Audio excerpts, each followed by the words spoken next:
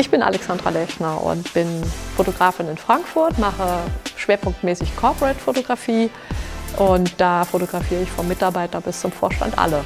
Ich finde es immer ganz toll, diese Menschen dann innerhalb dieser kurzen Zeit, mit denen ich dann zu tun habe, es sind ja manchmal nur fünf Minuten, ähm, da so ein Stück Vertrauensatmosphäre zu schaffen, aber äh, ich versuche auch die Person so ein bisschen zu locken, dass sie sich etwas öffnet. Ein zweiter Schwerpunkt meiner Arbeit ist ähm, das Dokumentarische, also auch da im Fokus der Unternehmenskommunikation, Geschichten erzählen, Stories vom Unternehmen einfangen, äh, auch mal unter die Maschine kriechen oder hinter den Schreibtisch. Wie kommt Menschen und Architektur zusammen. Also man muss immer gucken, welchen Winkel nehme ich, welches Licht ist gerade vorhanden. Und, und so ergibt sich ein, eins zum anderen irgendwie. Also ich finde, das ist jetzt gar nicht so wahnsinnig unterschiedlich, außer dass es eine eben Menschen sind, mit denen man auch kommunizieren muss.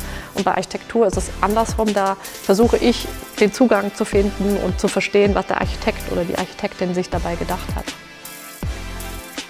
Es gibt noch eine, eine, eine, zweite Sache, in der ich unterwegs bin und viel arbeite. Das ist äh, meine Tätigkeit als Kuratorin für Fotografie, was mir wahnsinnig viel Spaß macht und letzten Endes auch für meine eigene Fotografie immer wieder Inspiration ist und ein tolles Netzwerk aufbaut.